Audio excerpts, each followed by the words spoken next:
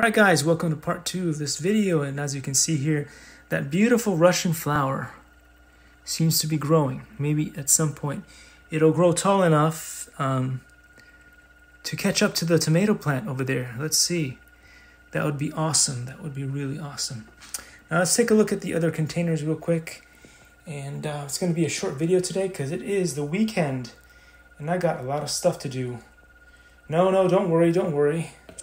I'm not going to be the usual fat vegan, lazy communist vegan like I've been called all over social media. Uh, no, I won't be. I won't be. I'm just going to be doing lots and lots of work because I don't rest on weekends, actually. On weekends, I have more work to do than on usual days because the family's home. Anyway, anyway.